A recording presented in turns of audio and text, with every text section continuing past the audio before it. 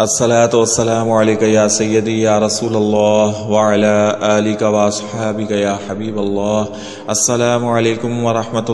बरकातुहू मोहतरम सामीन किराम अक्सर लोगों को ये शिकायत है कि जिस घर में वो रह रहे हैं उस घर में सिवाय मायूसी के उन्हें कुछ नहीं मिला घर का कोई ना कोई फ़र्द बीमार रहता है और घर में नहूसत के डेरे हैं जब से वो इस घर में आए हैं परेशानी का ही मुँह देखा है परेशानियाँ इनके सर पर साय की तरह रहती हैं और साय की तरह इनके पीछे लगी रहती हैं और बीमारियाँ इस घर से निकल नहीं रही और जो भी कमाते हैं, समझ नहीं आ रहा कहाँ जाता है।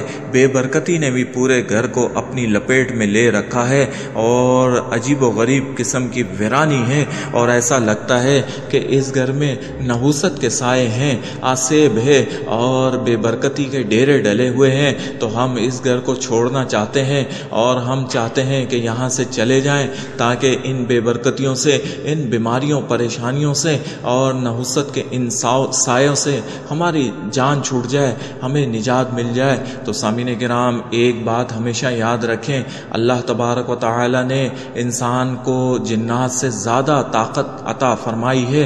हमारे पास अपने दर्रब की दी हुई रूहानी ताकत है। हमारे पास कलाम पाक की ताकत है, कुरान पाक की ताकत है। हमारे पास दरूज शरीफ की ताकत है और इसी ताकत के ज़रिए से हम इन जन्नात पर, आसेब पर और नहुसत पर और इस तरह की बेबरकतियों पर हावी हो सकते हैं। लेकिन फ़ी समाना हम इन चीज़ों से क्यों डरे हुए हैं? वजह यही है कि हमारी बेअमलियाँ हैं। हम नमाज़ के पाबंद नहीं हैं बावजू नहीं रहते। कुरान पाक से बहुत दूर हो चुके हैं और दरूद शरीफ को पढ़ना भूल चुके हैं और इस ज़िक्र असकार को छोड़ दिया है। अल्लाह अल्लाह करना छोड़ दिया है। तो फिर रूहानी ताकत कहाँ से हासिल होगी? तभी ये सारी चीज़ें हम पर हावी हैं। तभी ये चीज़ें इस कदर हमें घेर लेती हैं कि हमें अपना ठिकाना छोड़ना पड़ जाता है।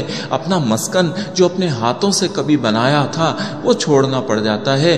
या अपने बाल बच्चे ले जाकर उस जगह को वहाँ से निकलना पड़ जाता है। ये कैसी बेबसी है? और ये कैसा रवाज पड़ गया है? अल्लाह अकबर, नहीं, ऐसा ना कीजिएगा। आप जिन्नात से, आसेबों से, नहुसत से और बीमारियों से और इन सब चीज़ों से टकरा सकते हैं, इनसे जीत सकते हैं, छुटकारा पा सकते हैं। सिर्फ़ आपको अल्लाह से लो लगानी पड़ेगी, उसके कलाम पाक से मोहब्बत करनी पड़ेगी, उसके कलाम से मदद लेनी पड़ेगी। दुरू शरीफ को अपना मामूल बनाना पड़ेगा। तो सामिन के राम अगर आप भी अपना घर छोड़ने का सोच रहे हैं और आप बीमारियों से, नौसत से, बेबरकती से और परेशानियों से तंग आ चुके हैं, ठिकाना बदलना चाह रहे रहे हैं तो एक मिनट रुक जाइए और सब्र कर लीजिए। ये एक अमल आपकी ज़िंदगी को पलट देगा और आपको नहीं जाना पड़ेगा। इन तमाम मनूस चीज़ों को यहाँ से जाना पड़ेगा और ज़रूर जाना पड़ेगा।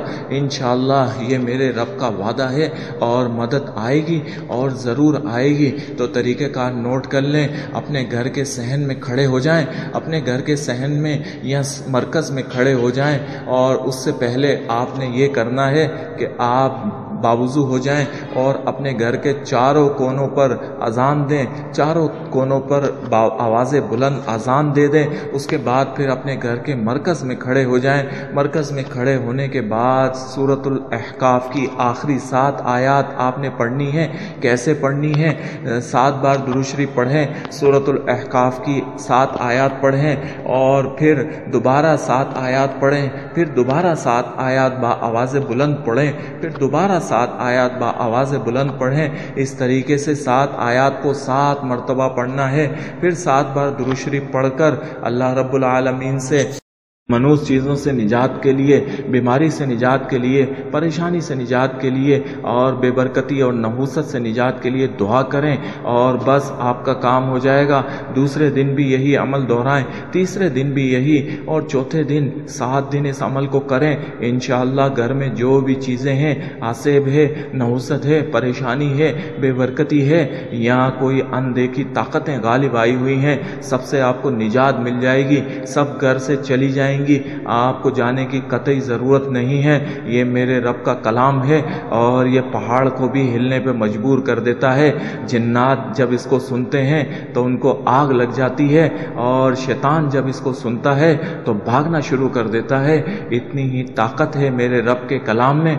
आप इस अमल को पढ़ें, आज से ही पढ़ना शुरू कर दें और फिर अपने घर में खैर व बरकत नाजिल होती अपनी आँखों से देखें। अल्लाह रब्बुल आलमीन हमें कलाम इलाही को समझने और तौफीक अता फरमाए। आमीन या रब्बुल आलमीन। आमीन।